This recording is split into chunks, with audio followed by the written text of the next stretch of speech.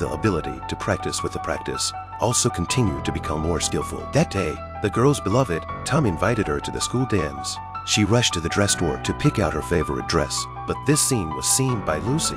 So at night, Lucy found some people and went to a pig farm. Looking at a pig in front of her, a very bad idea came into her mind. Then they put a bucket full of pig's blood on the top of the prom in advance. Lucy was so happy with his prank. The next day, the boy god came to Mary's floor on time. Mary felt like a princess for the first time. Mary was no less elegant than the rest of the girls at the ball. Lucy were already busy. They switched the raffle in the middle of the night so that Mary would win the first prize. She was given the chance to go on stage and was applauded by the crowd. Mary didn't realize why she was so lucky today. She stood on the stage with her boyfriend. Her face was full of smiles and happiness. But in the next moment, the mechanism at the top was activated.